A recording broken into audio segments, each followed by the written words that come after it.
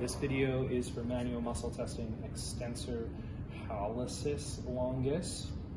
Again, a muscle originating in the leg and it inserts onto the distal phalanx of the big toe or great toe or digit number one.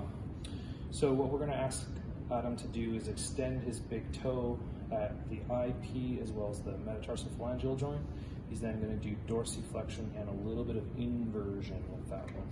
There we Let's try that one more time. So extension, dorsiflexion, inversion. Good.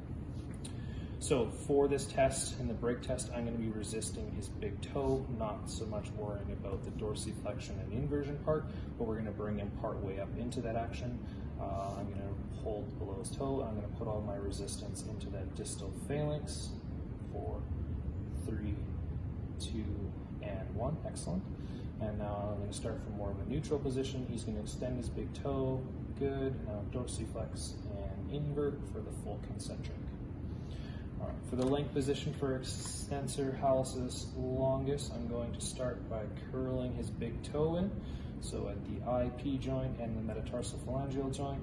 Then we'll take his ankle into plantar flexion and finally add a little bit of eversion of the subtalar joint. So there's the length position for extensor hallucis longus.